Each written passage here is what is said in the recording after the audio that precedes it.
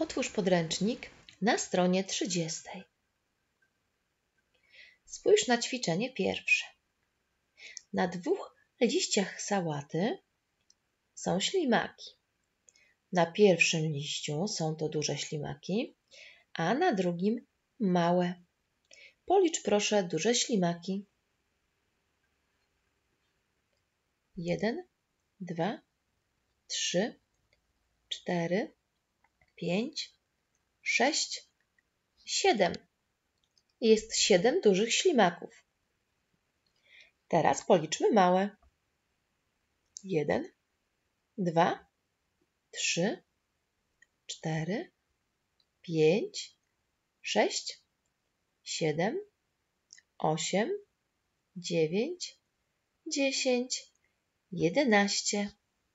Mamy jedenaście małych ślimaków. Ślimaki chodziły sobie po liściu sałaty i część z nich pod niego się schowała. Zakryj proszę trzy duże ślimaki. Ja je ukryję w ten sposób. Oraz cztery małe ślimaki. Dwa, trzy, cztery. Ile ślimaków zostało? Działanie zapisz w zeszycie i rozwiąż je.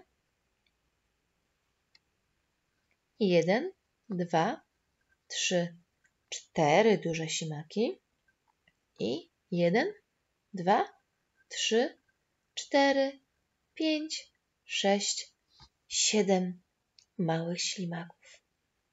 Postaraj się to działanie rozwiązać samodzielnie. Ćwiczenie drugie. Spójrz na liczby w ramkach. Jednym kolorem zaznaczono działanie.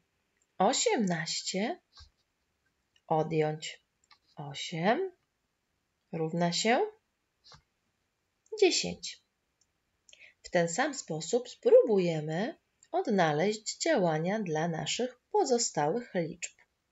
Przygotuj sobie trzy kolory kredek. Ja mam czerwoną, zieloną i niebieską. Na czerwono pomaluję sobie liczbę 20. Spróbujemy odjąć od liczby 20 jedną z tych trzech, aby otrzymać wynik, który również odnajdziemy tutaj. Na przykład 20 odjąć 7. Ile to będzie?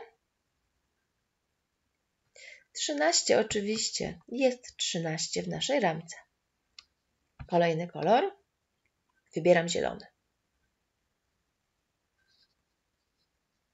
Pokoloruję na niego liczbę 14. Zastanówcie się, co możemy odjąć od 14, 2 lub 6, aby otrzymać wynik. Mamy do wyboru dwa wyniki. Oczywiście, jeśli od 14 odejmiemy 2, to wynik będzie 12. Świetnie. I ostatnie działanie. 17 odjąć 6 równa się 11. Zapisz proszę te działania w zeszycie. Ćwiczenie trzecie. Wykonaj samodzielnie obliczenia, następnie zastanów się, który wynik będzie odpowiedni. Przepisz te działania do zeszytu. I ostatnie ćwiczenie czwarte.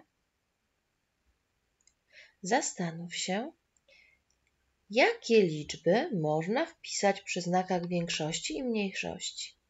Pamiętacie, że znak, w którym jedna liczba jest obok drugiej, Znak ustawiony w tą stronę co oznacza? Że liczba mniejsza będzie chciała nam kawałeczek zjeść liczby większej. Czyli jeśli tu mamy 6, a ta liczba będzie chciała nam zjeść tą, to znaczy, że musi być od niej mniejsza oczywiście. Na przykład będzie tutaj liczba 4. Liczba 4 będzie mniejsza od liczby 6. Kolejny przykład poniżej. Ta liczba, którą wpiszemy tutaj, jak myślicie, będzie mniejsza czy większa od liczby 9? Oczywiście będzie mniejsza. Na przykład na przykład 7. Pozostałe przykłady zrób samodzielnie i zapisz je w zeszycie.